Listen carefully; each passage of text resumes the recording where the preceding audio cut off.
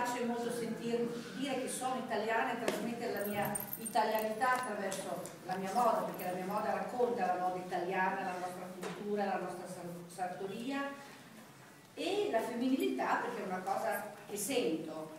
Questa collezione rappresenta pienamente queste cose, trasmette, già lo vedete così come primo colpo d'occhio, trasmette solarità, trasmette energia, trasmette anche voglia di vivere, di, di, di essere donna, di vestirsi.